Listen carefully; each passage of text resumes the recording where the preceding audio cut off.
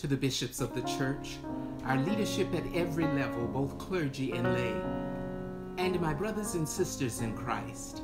I greet you in the power of the Holy Spirit on this Pentecost Sunday.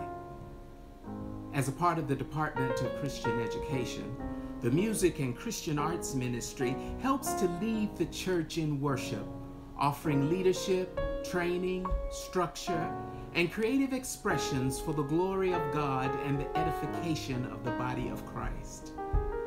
During this time of pandemic, when we are forced to gather in new and unfamiliar ways, MCAM continues its mission and leads the church in praise through technology, bringing us together to sing and glorify God. We as Methodists sing our faith. As AMEs, we are connected. This virtual connectional MCAM mass choir continues the best of both these traditions.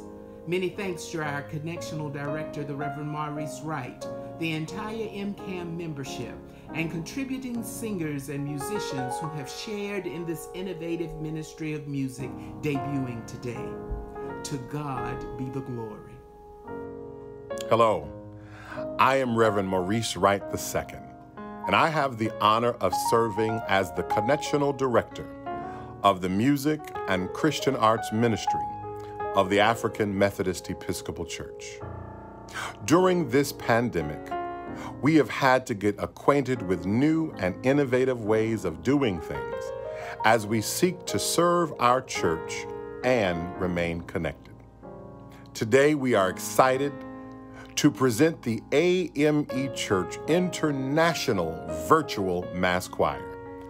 A special thanks to the bishops of the church for supporting this project and the Reverend Garland Pierce for his leadership of the Department of Christian Education.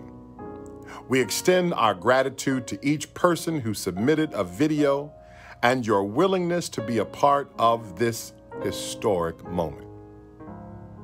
On behalf of the Music and Christian Arts Ministry, I present to you from members connecting globally in celebration of Pentecost total praise. Peace and blessing